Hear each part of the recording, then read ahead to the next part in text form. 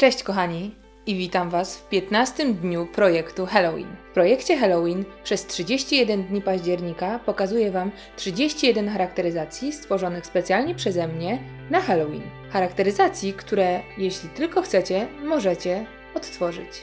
Jeśli tylko macie ochotę wypróbować któryś z moich wzorów, śmiało zróbcie to.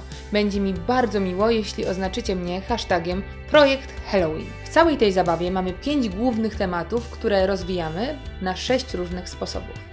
Aktualny temat to mityczne istoty. W dzisiejszej charakteryzacji stworzyłam swój własny wizerunek syreny, która oczywiście nie ma nic wspólnego ze słodką syrenką Ariel. Syreny w mitologii greckiej były to niebezpieczne i podstępne stworzenia, które kusiły swoim niezwykłym głosem, a następnie okrutnie zabijały. Ale nie wiem, czy wiecie, że pierwotnie syreny przedstawiane były jako pół kobieta, pół ptak.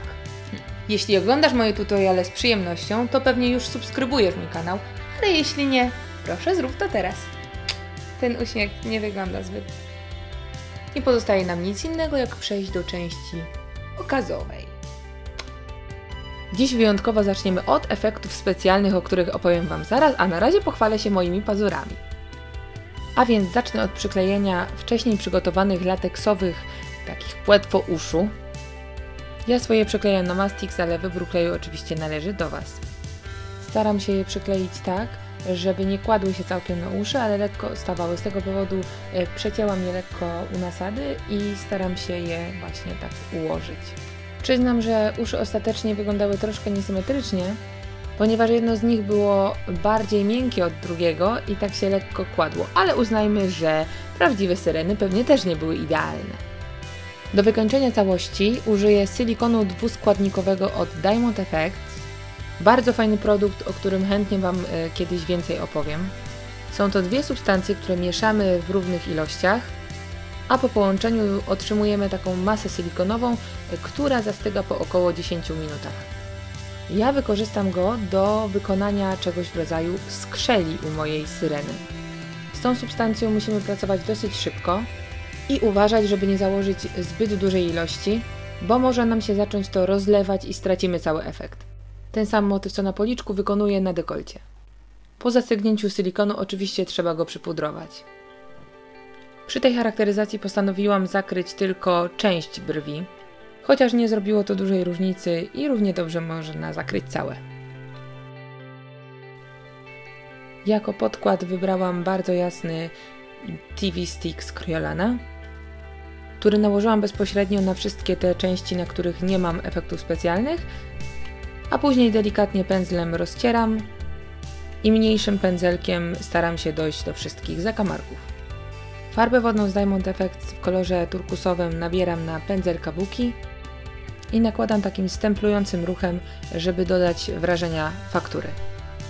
Takie elementy lateksowe oczywiście można pomalować wcześniej, natomiast ja czuję, że w ten sposób mogę lepiej dopasować kolorystycznie e, te elementy do twarzy.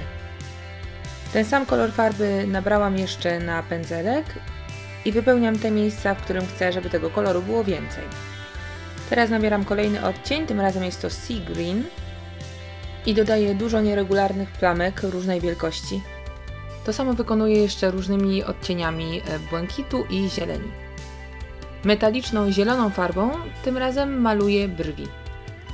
I przechodzę do czarnego cienia, którym podkreślę wszystkie najgłębsze miejsca. Dzięki temu całość nabierze realizmu i wyrazistości. Jednocześnie.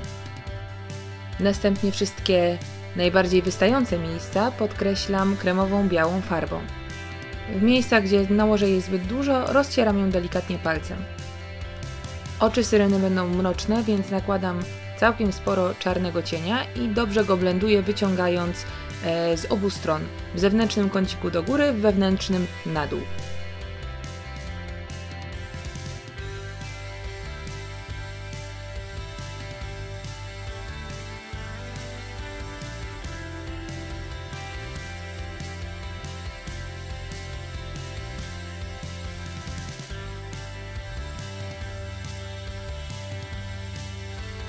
Żeby okolice oczu nie były po prostu czarną dziurą, dodaję jeszcze metaliczny zielony cień z Nyxa i nakładam go przede wszystkim na centralną część powieki.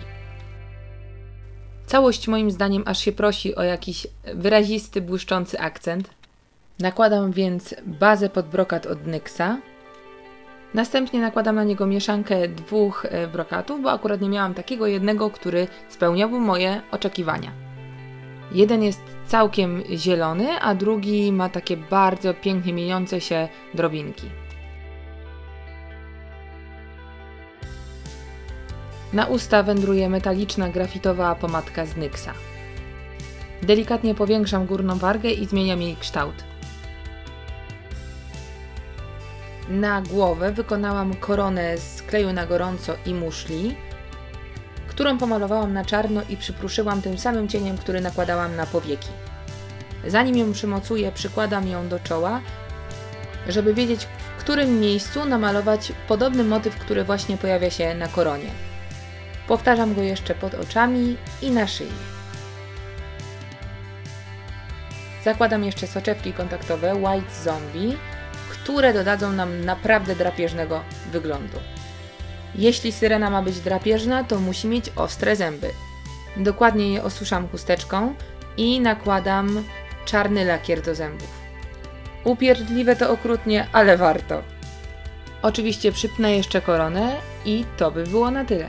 Mam nadzieję, kochani, że widzimy się jutro. Do zobaczenia!